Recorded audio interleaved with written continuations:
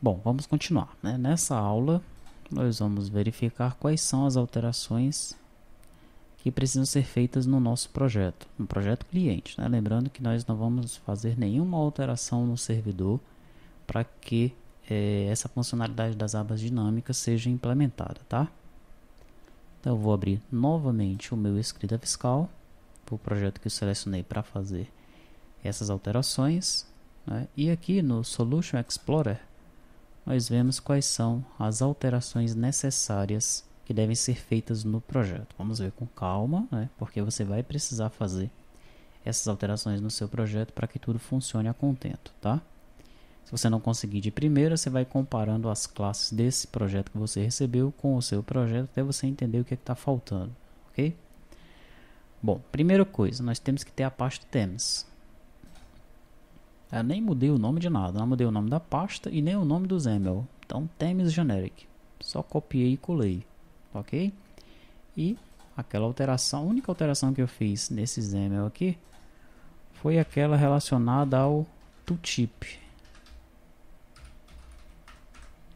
aqui ó na dica do botão fechar aba tá posso até colocar fechar formulário por exemplo é, ou fechar janela você coloca aí o que você achar melhor na sua aplicação tá?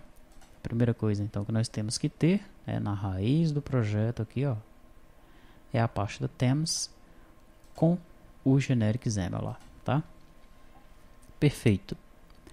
Segunda coisa aqui na pasta útil eu colei dentro da pasta útil aquele closable tab item tá deixei o namespace dele da mesma forma não alterei só copiei o, o arquivo lá do projeto né, do componente e colei aqui dentro da pasta útil ok então tá da mesma forma não fiz nenhuma alteração, está funcionando da mesma maneira que funciona lá no projeto de demonstração.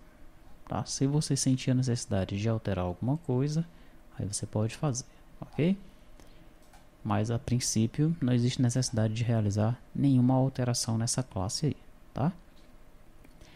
Perfeito, então eu já trouxe o que era necessário para o meu componente funcionar, né? A pasta themes e o componente em si, a classe do componente, né, que é esse closable tab item aí.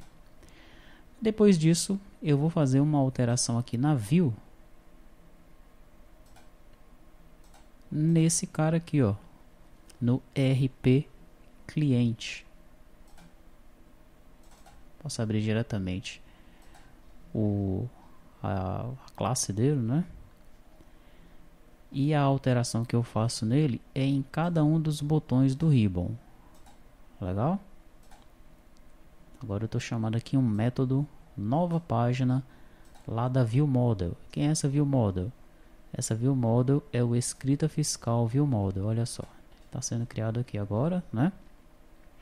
E eu vou chamar um método aqui. E para esse método eu passo a janela que eu quero criar e o caption, o texto da janela, tá? Isso então é essa alteração que eu tenho que fazer na RP cliente, tá?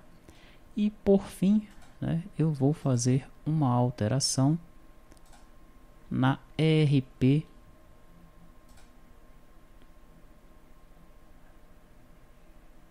nessa aqui, ó, escrita fiscal view model. Cada um dos módulos, né, tem um view model principal com o nome do módulo. Se for contabilidade, contabilidade view model. Se for folha, folha view model. No caso aqui é o escrita fiscal view model, tá? Eu vou fazer uma alteração nele também. Veja que aquele código do construtor sumiu, né? E eu vou ter agora o método nova página. Legal? Perfeito. Então, são essas as, alterações né, que eu tenho que fazer na, na minha aplicação para que funcione a questão das abas dinâmicas, tá? Agora, na próxima videoaula, nós vamos analisar com calma cada uma das alterações. Aí vamos comparar o código de um projeto desse projeto aqui com um projeto que não usa as abas dinâmicas, para nós entendermos o que foi que mudou e vamos explicar o que é está acontecendo ali em cada um dos métodos.